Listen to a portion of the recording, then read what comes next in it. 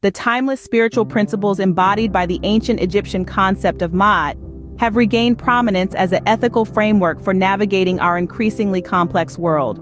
Ma'at represents truth, balance, order, justice, and moral righteousness, a conscious alignment with the divine cosmic harmony.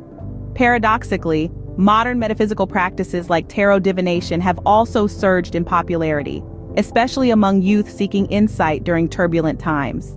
Though the mystical occult may seem at odds with Ma'at's rational foundations, a prudent examination reveals potential for synergistic integration. The Ma'atic ideology championed cultivating social unity through adherence to truth, natural order, and virtuous living.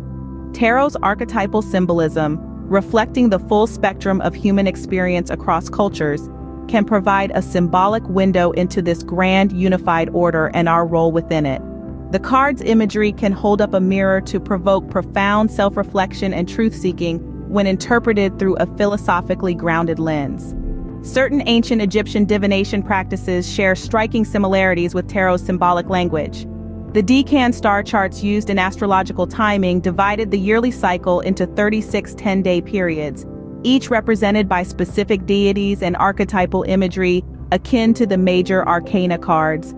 This hints at divination's long-standing role in accessing universal symbolic narratives. However, Ma'atic wisdom fundamentally emphasizes avoiding extremes and instead seeking moderation, balance, and grounded pragmatism.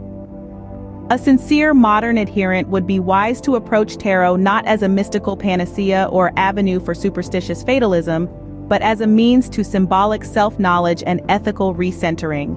All people desire to live in Ma'at, taught the sage Ptahhotep in the 24th century BCE, from this perspective, tarot can serve as a periodic recalibration tool, reorienting one's trajectory toward truth, righteousness, and cosmic unity, not as an excuse to abdicate integrity or personal responsibility.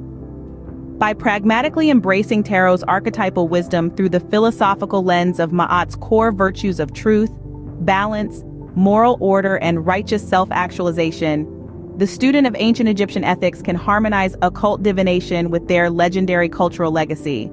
However, this synergy demands approaching such practices with utmost discernment, humility, and dedication to virtue, the essence of living in Ma'at.